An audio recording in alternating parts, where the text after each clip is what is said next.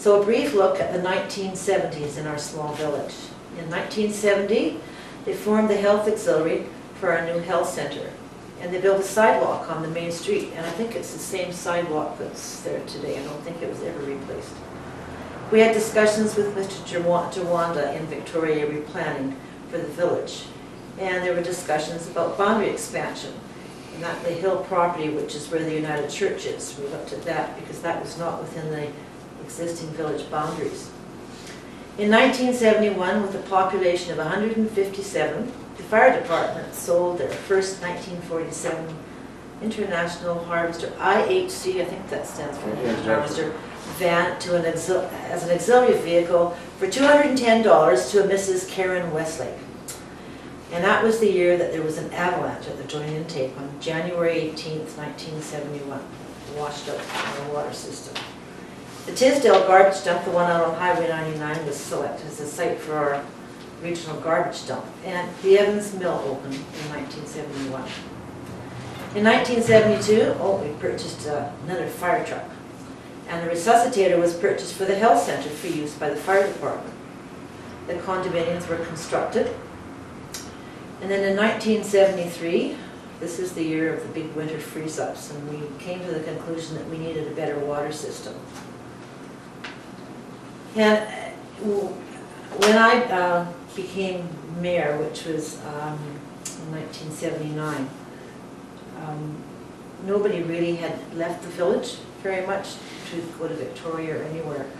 So there was a visit in 1973, however, to Victoria about the new floodplain uh, legislation. And I can remember arguing with people in Victoria at that time, saying, you're nuts, you think there's gonna be water from mountain to mountain in this valley, it'll never happen. Well, as we progress through the years, you'll see what happened. In 1973, we raised the clerk's salary to $600 a month. And that was the year that the provincial government instituted the new agricultural land reserve regulations. There were fire hydrants installed in the village, and there was a road built to the new water intake so that we- they could drag line in when we needed to. The village streets were named at that time, they were named after trees and, and, uh, and flowers and that type of thing, and signs were placed around the village. And in 1973, we also studied and looked at the formation of a district municipality, and they're still doing that today, some, quite a few years later. The Lions Club constructed a ski hill up on the hill. There were two modulars brought in for the Signal Hill classrooms. And there was a meeting with the Minister of Municipal Affairs again regarding a district municipality. So in 1974, there were public meetings regarding a district municipality. And there was continued work on our waterworks. Water always seemed to be a problem in this municipality. Uh, A new 100,000 gallon water tank was constructed. And we also put a new roof on the municipal building. And this was the year that Evans Mill closed down. So in 1975 was our first Canada Day celebrations. And actually, it was Canada Week. We had two weeks of celebration, the first community in Canada to celebrate Canada Day, or Canada Week, uh, for two weeks. And we actually had coverage on CBC television uh, that year as well. The village agreed to participate with the regional district on the maintenance and operation of garbage dumps. And um, boundary expansion that we had requested was put on hold because of the mill situation.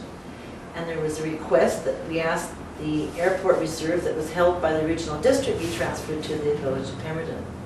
The Pemberton Museum train visited Pemberton, and the info center that year was operated by Betty Talbot next to where the teachers are, and the chamber provided the funding uh, for the rent of the building.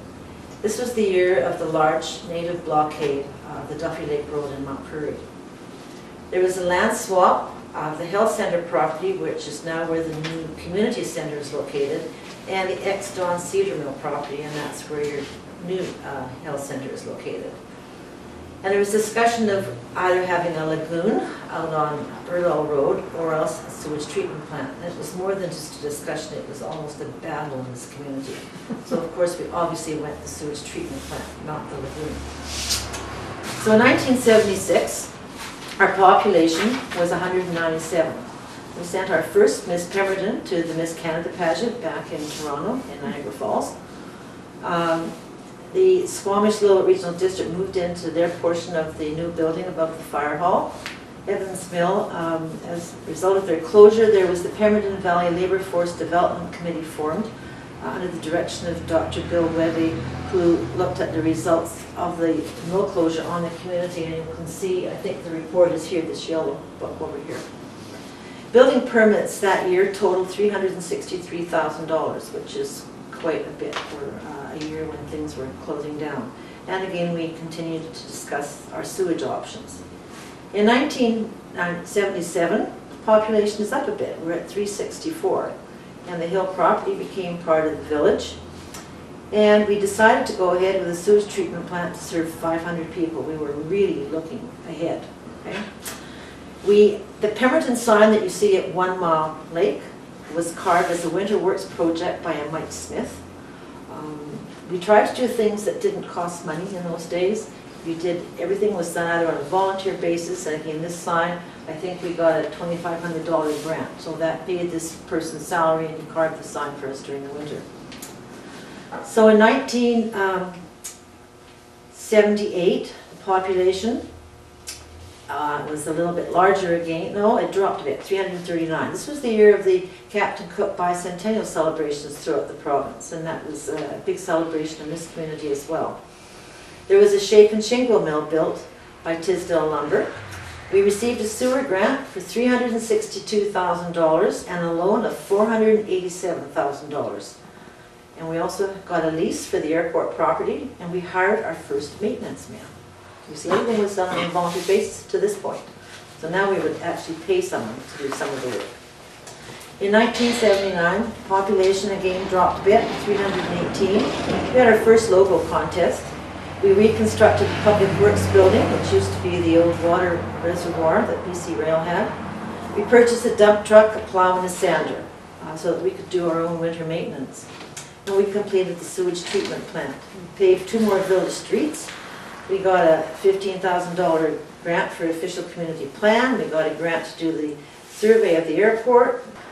The provincial parks actually prepared a rough design plan for One Mile Lake. And the BC Development Corporation purchased the Evans Mill site for the industrial park. And that's where you see today's industrial park. Population was 308, so the population sort of stays around 300 for a good number of years. We adopted our first official community plan. And we got a planning grant to do a zoning and subdivision bylaw. Did a socio-economic study with funding that we got from the Ministry of Economic Development. We did contour mapping of the uplands property, uh, and that was done by the Ministry of Lands, Parks and Housing. And they redid the same plan again, a number of years later, under the new council. Uh, The seven acres of crown land were sold by the crown uh, for a residential subdivision. And the village got very brave that year and decided to, uh, because they had a 10 acre parcel of land, they did a uh, a subdivision on Poplar Street. We also received 33 hectares of land that was granted for the airport, and the premier visited and uh, gave us a $13,000 lottery grant for the purchase of a minibus. Now, th- this is probably one of the smaller grants, but probably the one that I worked the hardest for because I would go to Victoria and I knew where the Premier lived. The Premier stayed in the Harbour Tower, so I would stay there. I knew what time he went down the elevator, and I would go in the elevator so I could walk with him to the Parliament buildings, and we would always talk about this lottery grant, this minibus, so we could take our children from the school back and forth to, to ball games. We eventually got the grant, and got tired of, of. Uh, we purchased pagers for the fire department. We paved the front street in cooperation with BC Rail. We uh, put signage out at the airport. We coated the village water, water tank, and lo and behold, our community hall burned down in December of that year. And on December 26th, we also had a big flood.